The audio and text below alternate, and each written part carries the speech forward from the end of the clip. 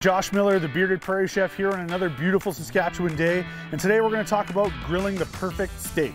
My favorite steak of all time, the ribeye. The ribeye has so much fat in it, nice marbling. It just brings delicious flavor when you're wanting to have uh, a great steak at home uh, with your family and friends. So we got a couple nice ribeyes here, you know, from the local butcher shop here in Saskatchewan. So got a couple beautiful ribeyes. As you can see, it's got amazing marbling in it. So when we cook this on the barbecue, that's gonna cook nice and slow. It's gonna melt and just add more flavor and more tenderness to the steaks. So the first thing that I like to do whenever I'm cooking steaks is I like to get a nice little rub that I just kind of make out of garlic powder, salt and pepper. And I like to just kind of coat the steaks uh, with it about 30 minutes before I'm gonna put it on the grill. So I just like to kind of throw it on there and just kind of let it marinate on the plate. So I like to get it in there, push it all over, make sure it's kind of got a nice coating. And what this is gonna do is it's gonna help to bring some of the moisture out of that steak. So moisture when on the barbecue isn't amazing when we're trying to get nice grill marks for presentation. So we're just gonna throw that on there, we're gonna press it in, and we're just gonna let these sit for about 30 minutes until we're ready to go to that barbecue. We're gonna take these over to the barbecue. We got it ripping hot, about 500 degrees, and we're gonna put these on there and, and cook them from there.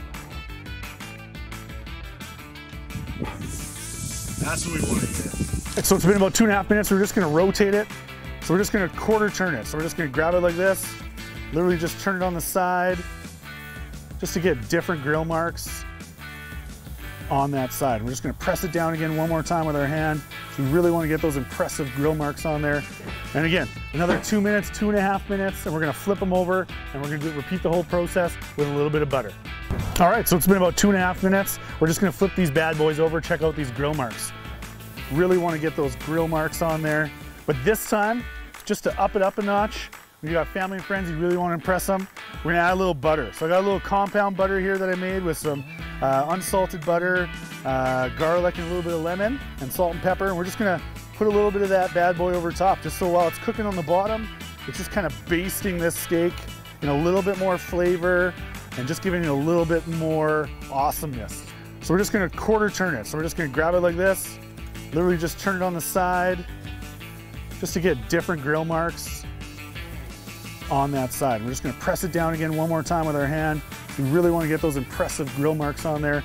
So it's been another two minutes, so we're just gonna open this guy up. We're gonna check it with our trusty thermometer just to make sure it's between about 125 and 135. We wanna take it off and let it rest for another five to 10 minutes. All right, so it's been 10 minutes here with these ribeyes resting off the barbecue. We're just gonna check these guys out. So let's unveil these guys. Oof, those look good.